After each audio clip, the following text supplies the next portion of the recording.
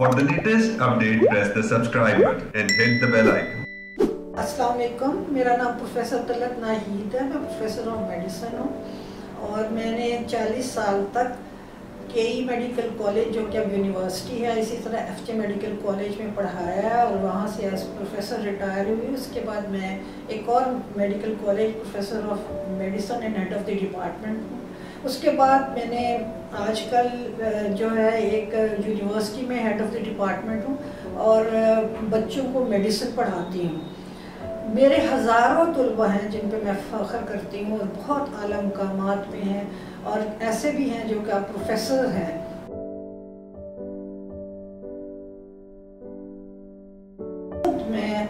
आजकल जो प्रैक्टिस करती हूँ, वो ज़्यादातर हर किस्म के मर्ज का प्रैक्टिस करती हूँ, जिसमें दमा ब्लड प्रेशर शुगर छाती की बीमारियाँ इन्फेक्शंस पेट की बीमारियाँ, आंतों की बीमारियाँ, जिगर की बीमारियाँ, और मेरा जो फ़ील्ड ऑफ़ स्पेशलाइजेशन है, वो ज़्यादातर गेस्ट्रेंट्रोलॉजी हेपेटाइटिस और एंडोक्राइनल डिज़ीज़ है।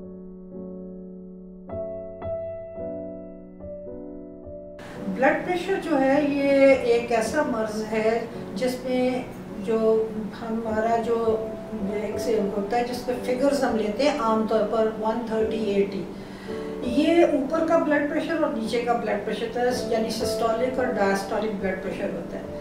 अगर इससे खास उम्र में या बचपन में किसी वजह से ये ब्लड प्रेशर बढ़ जाए तो इसका हमेशा इलाज करें। अब होता ये है कि इसके भी कोई सिम्टम्स नहीं होते। इसलिए आमतौर पे किसी को इसका पता ही नहीं लगता। अब तो शुक्र है कि घर घर में ज़्यादातर लोगों के घरों में डिजिटल आले आ गए हैं तो वो अपनी माँ का, बाप का ब्लड प्रेशर चेक करते हैं। कभी कभी अपने ब्लड प्रेशर चेक कर लेते हैं तो उन्हें पता लग जाता है कि हमारा ब्लड प्रेशर भी बढ़ा हुआ है। लेकिन मैं ये कहूँगी कि हर बंदे को अपना ब्लड प्रेशर अगर हर महीने नहीं तो कम से कम छः महीने के बाद ज़रूर चेक कराना चाहिए, ताकि उसे पता लगे कि मेरा ब्लड प्रेशर नॉर्मल रेंज में है। और अगर ये बड़ा हो तो इसके लिए ज़रूरी परहेज, जैसे वज़न बढ़ा हुआ है, उसको कम करना, नमक कम करना, चिकनाई कम खाना, और दूसरी ऐसी चीज़ गज़ाएँ जो कि ब्लड प्रेशर को बढ़ा सकती हैं, उनसे परहेज़ करना ज़रूरी है, और ये एक डॉक्टर ही बता सकता है कि ये चीज़ें नहीं करनी।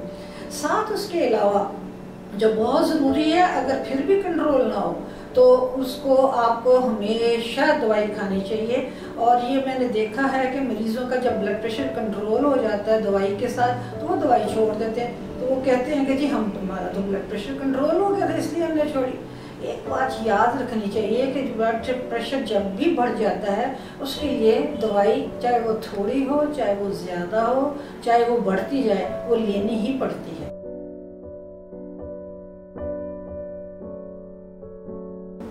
मर्ज है डायबिटीज़ मेलाइटस उसको कहते हैं। इसमें जो है, खून में भी शुगर बढ़ जाती है और पेशाब में भी शक्कर जो है खारिज होती है। ये दो तरह की होती है, एक होती है डायबिटीज़ टाइप वन दूसरी होती है diabetes type two diabetes type one आम तौर पे बच्चों में होती है, लेकिन कई दफ़ा ये थोड़े अडल्ट में भी हो सकती है यंग बच्चों, में लोगों में भी हो सकती है। इसका इलाज सिर्फ़ सिर्फ़ और सिर्फ़ इंसुलिन है। कोई गोली इसका इलाज नहीं है।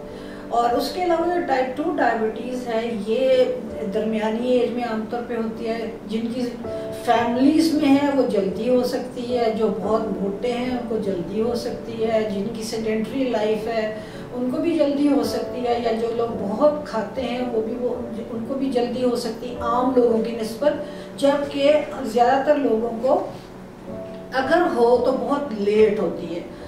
अब इसमें यह है कि इसका भी पता नहीं लगता उस वक्त तक, जबकि अक्सर हमारे पास जो मरीज़ आते हैं, उस वक्त आते हैं जब उनको इनकी कॉम्प्लिकेशंस हो गई होती हैं। और जब उनको वो इतना लेट हो चुका होता है कि उन कॉम्प्लिकेशंस को रिवर्ट करना आसान नहीं होता।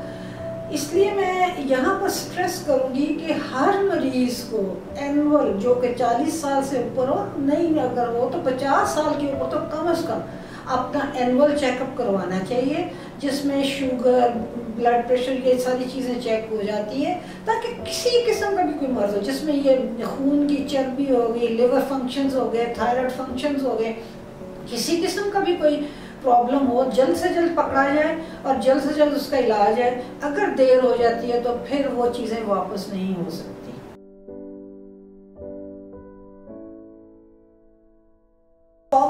मरीज़ आते हैं मेरे पास छोटी छोटी खांसी के साथ और वो जब उनको देखें तो उनमें एस्थमा के जो सिम्टम्स होते हैं एस्थमा जो होता है, ये जो सांस की नालियाँ हैं, इनकी सोजिश की वजह से जो सांस की नालियाँ सुकड़ जाती हैं और उससे सांस लेने में तकलीफ़ होती है और खांसी आती रहती है, हल्की हल्की हल्की हल्की खांसी आती रहती है।